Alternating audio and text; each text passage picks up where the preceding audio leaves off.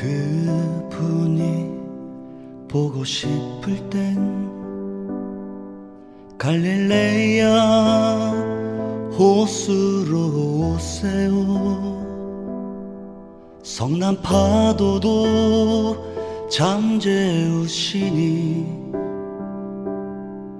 당신 맘속에 파도 잠재우시고 사실은 어, 저에게는 좀 아픔이 있는 곡이죠.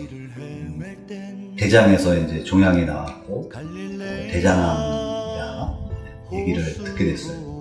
근데 이제 아주 작은 거였는데 처음으로 이제 태어나서 처음으로 아파본 저로서는 굉장히 그게 크게 다가왔고 당신 이름 부르실 거예요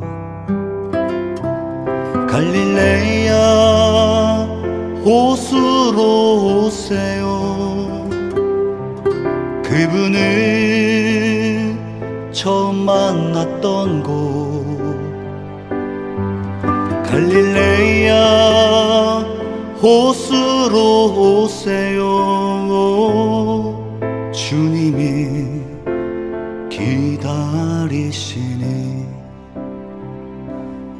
내가 처음 예수님께 사랑한다고 고백했을 때, 세례 받았을 때, 내가 예수님을 처음 만났을 때, 그 장소, 그 시간이 우리에게는 영적인 갈릴레 호수구나.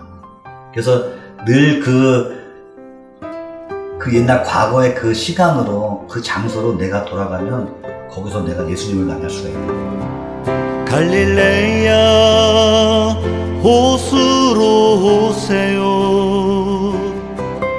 그분을 처음 만났던 곳.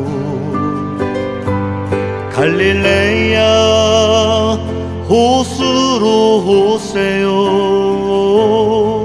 주님이 기다리시니 저 나름대로 생각한 게, 아, 누구에게나 있는 마음속의 갈릴레 호수.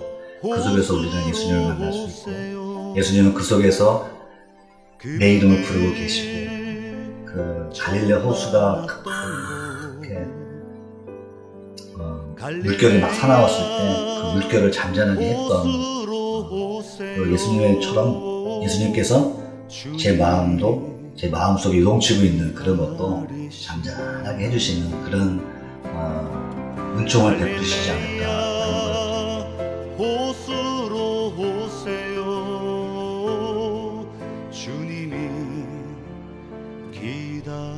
기다리시니 주님이 기다리시니